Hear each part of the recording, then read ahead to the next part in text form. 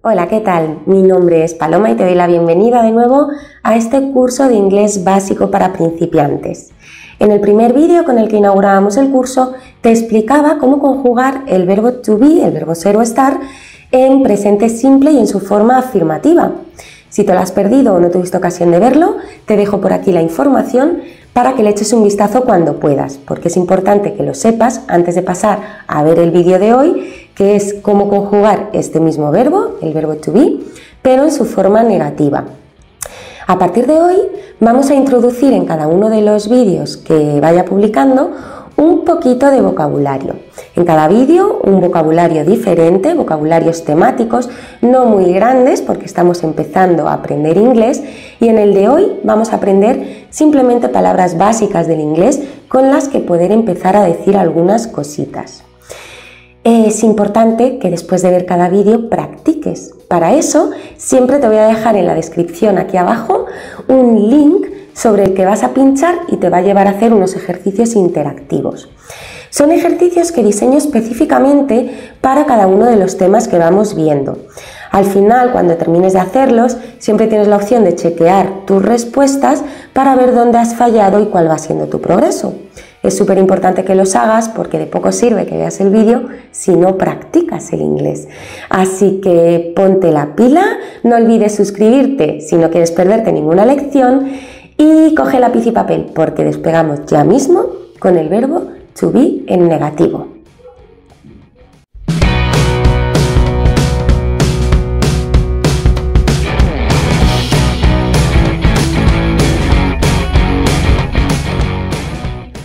Bueno, pues si ya estáis listos, empezamos ya con el vídeo de hoy, el verbo to be en negativo y un poquito de vocabulario para que empecemos a saber algunas palabras con las que empezar a decir algunas cositas básicas y también que nos van a servir para ilustrar un poco los ejemplos que vamos a poner. Os he puesto aquí este vocabulario, lo podéis anotar en vuestro cuaderno.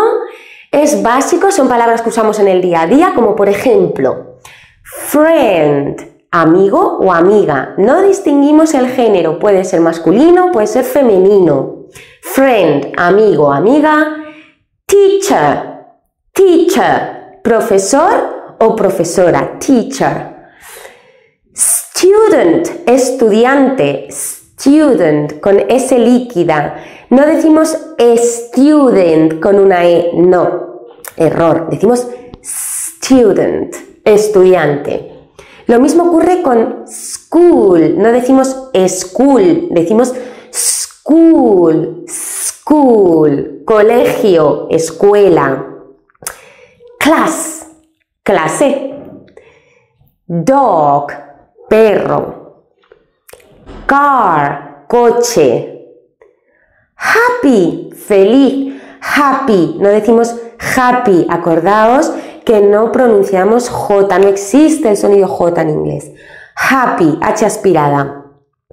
Sad, triste. Y busy, ocupado o ocupada. Los adjetivos en inglés no distinguen si son masculinos o femeninos. Puede ser ocupado o puede ser ocupada. Bien, pues ahora que ya tenemos estas palabritas para poder meterlas e introducirlas en nuestros ejemplos, vamos a ver cómo formamos el verbo to be en negativo. Esto es lo más fácil del mundo. Si recordáis, ya contamos en el primer vídeo que el verbo to be tenía tres formas. ¿Recordáis el truquito? Que teníamos que acordarnos de la palabra amaréis, donde teníamos ya ahí las tres formas del verbo to be. Bueno, pues están aquí, ¿no? I am, yo soy o yo estoy. He is, she is, it is, él es o él está, ella es o ella está, eso es o eso está. Y las formas plurales que las conjugábamos con are. We are, you are, they are. Nosotros somos o nosotros estamos, vosotros sois o vosotros estáis, ellos son o ellos están. ¿Cómo lo vamos a decir en negativo? ¿Cómo vamos a decir yo no soy o él no está o vosotros no sois, pues muy sencillito, ya lo vais a ver, porque lo único que tenemos que hacer es poner detrás del verbo to be la palabra not. Y entonces me queda I am not. ¿Cómo lo podemos contraer? ¿Os acordáis que podíamos hacer contracciones y juntar dos palabras para que suenen como una? Bueno, en el caso del I am not, no tenemos una contracción para el am y el not juntos. Entonces lo que vamos a hacer es la contracción en positivo, en afirmativo, que era I'm, y después decir not. I'm not. Yo no soy, yo no estoy. He is, she is, it is, lo vamos a hacer exactamente igual. Lo único que tenemos que hacer es poner la palabra not detrás del is. Ya está. Listo, ya está en negativo. He is not, she is not, it is not. En este caso sí podemos hacer una contracción con el is y con el not. Y entonces lo que vamos a hacer es zamparnos la vocal del not, juntar las dos palabras y en lugar de la O ponemos un apóstrofe y ya ponemos la T. Y entonces se nos queda esto de aquí que es isn't. Decimos isn't, pero cuidado al escribir, que aquí no hay ninguna E, no ponemos isn't con una E. Ponemos el apóstrofe en lugar de la O y la T. Y entonces diremos he isn't, she isn't, it isn't. Él no es o él no está, ella no es o ella no está, eso no es o eso no está. Las dos formas, por supuesto, son correctas. Podemos decir he is not o he isn't.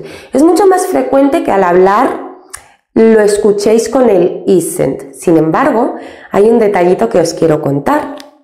Cuando tú dices algo con mucho énfasis y quieres recalcar ese no, sí que lo vas a decir sin contraer.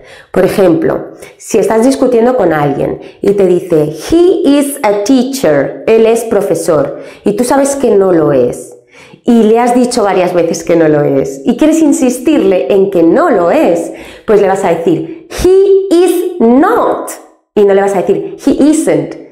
Probablemente le vas a decir he isn't muchas veces hasta que ya te sientas un poquito como enfadado y le vas a decir he is not. O sea que de esta forma siempre vamos como a enfatizar un poquito más esa negación. Lo mismo con el we are, you are y they are. Lo único que tenemos que hacer es poner el not justo detrás del are y también podemos contraer el are con el not y podemos decir aren't. Es decir, una vez más, me zampo la o del not, la sustituyo por un apóstrofe y se me queda una sola palabra que se pronuncia aren't. ¿Bien? Entonces voy a decir we aren't, you aren't y they aren't. Yo no ellos no son, ellos no están. Así que esta es la forma negativa del verbo to be que como veis es súper fácil de construir. Vamos a ver algunos ejemplos para practicarlo un poquito. Bueno, pues aquí tenemos algunos ejemplitos para poner en práctica esto del verbo to be en presente simple pero en negativo. I am a teacher. Esta es una frase afirmativa donde estoy diciendo yo soy un profesor. Ya lo sabéis, porque ya no sabemos el verbo to be en afirmativo. ¿Qué tenemos que hacer para pasarlo a negativo?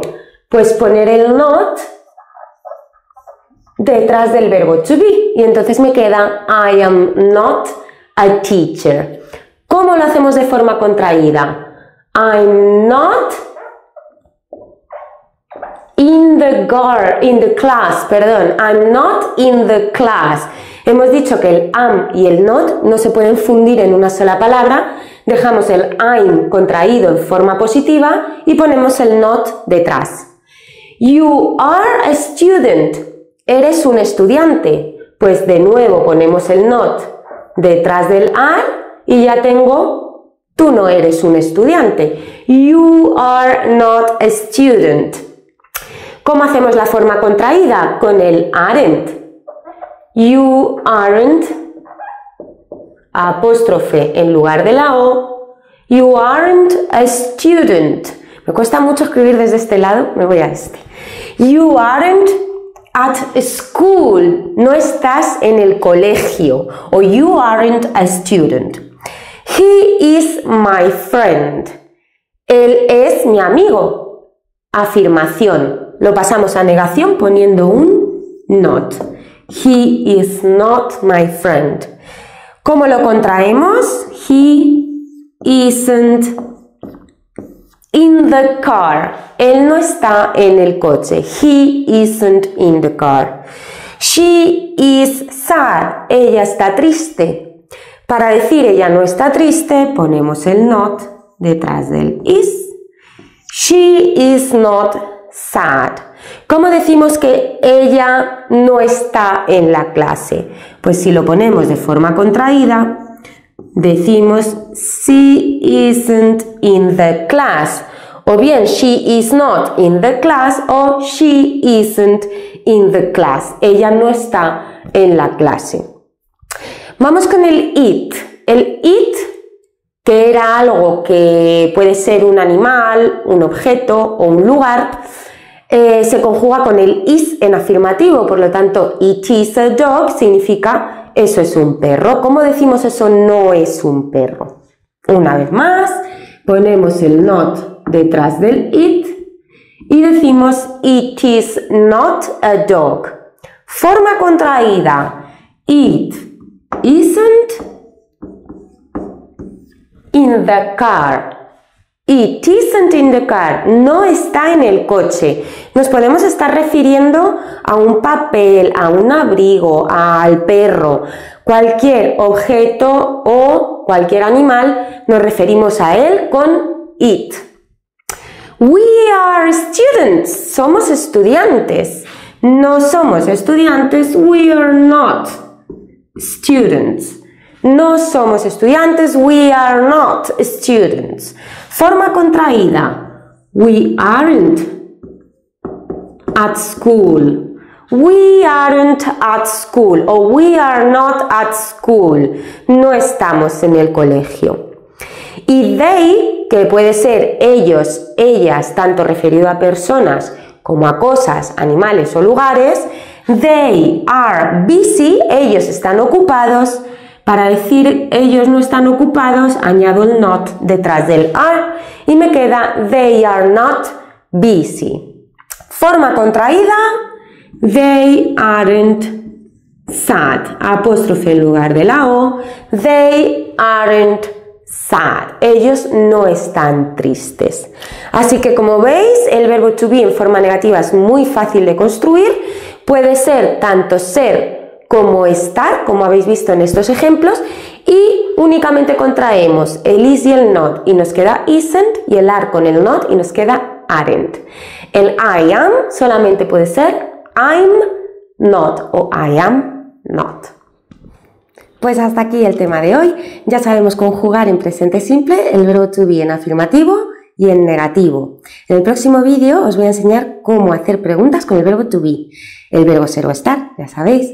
Así que cualquier duda, cualquier comentario que queráis dejarme lo podéis hacer en los comentarios del vídeo y aquí abajo en la descripción ya sabéis que os dejo un link para que podáis hacer los ejercicios correspondientes a este vídeo. Si has aprendido algo nuevo, déjame un like y acuérdate de suscribirte para no perderte nada. Así que nos vemos en la próxima. ¡Chao!